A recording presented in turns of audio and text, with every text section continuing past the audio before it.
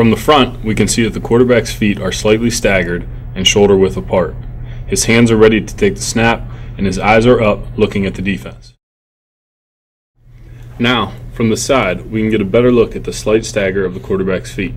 We can see that the bend in his knees puts him in an athletic position with the weight on the balls of his feet.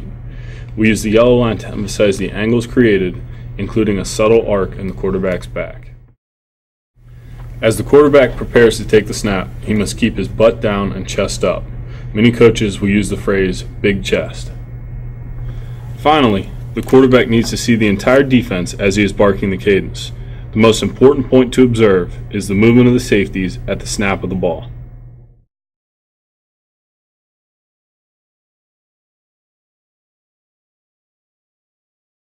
To begin any play, the quarterback must seat the ball. In other words, he needs to receive it cleanly from the center. Any fault in this simple step ruins the timing and execution of any play.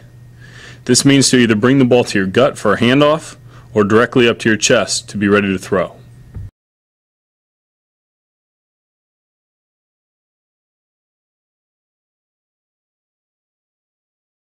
The first step in the three-step drop is the most important The quarterback must use this step to create throwing lanes and separation from the line of scrimmage. The majority of the quarterback's weight is to remain on his back foot. The short crossover step serves three purposes. One, it creates more distance from the line of scrimmage. Two, it contributes to the timing of the throw with the wide receiver's route. And three, it allows the quarterback to gain complete control of his body before he releases the ball. Again, we can see that the weight is on the back foot until it is transferred into the throw. As we zoom in on the footwork, we can see that the first step is the biggest and should be about three and a half yards from the line of scrimmage. After the crossover step, the quarterback should be about five yards from the line of scrimmage. Here, we can see that the quarterback has his weight mostly on the back foot, yet remains ready to throw by being on the ball of the foot. The front foot is light and he is on his toes. The weight transfer during the throw is apparent just by watching his feet. Let's take another look.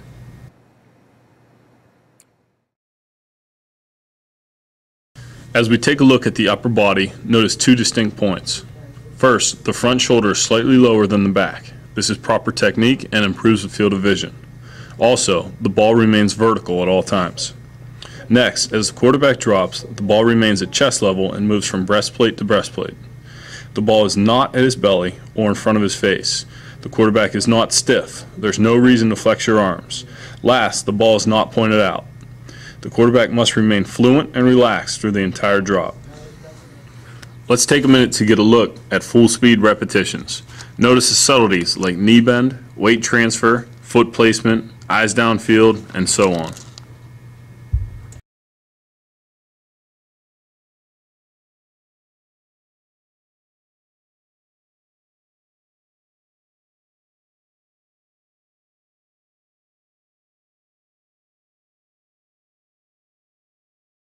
In the next reps, we set the QB-Tee at 1.8 seconds.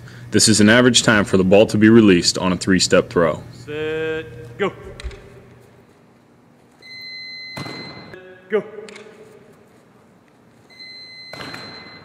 The QB-Tee promotes great habits in a quarterback's stance and quickness.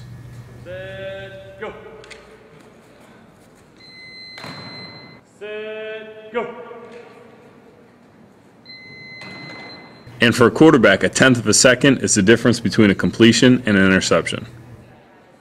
Set, go.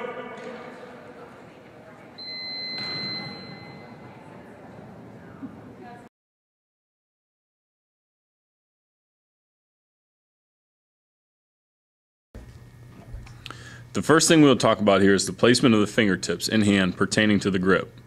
It is imperative that as you get the grip, the ring finger will be placed over the second eyelet of the football. The middle finger will be somewhat towards the bottom of the white stripe, and the forefinger, which is the last finger to leave the ball, is the adjustment finger to keep the ball tight as it's released. The grip can vary slightly, but you must realize that if the grip feels awkward at first, it will become comfortable and natural with repetitions.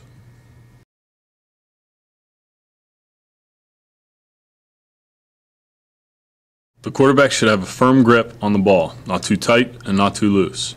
Also, there should be space between the ball and the quarterback's hand, as we can see in this picture. The quarterback should draw the ball straight back such that the point is actually away from the target. Notice that the level of the ball does not drop.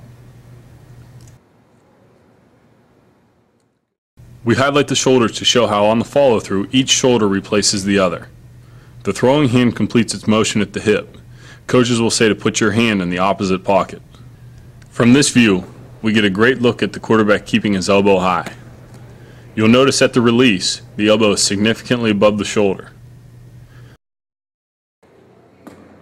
We'll get one more look at great throwing mechanics.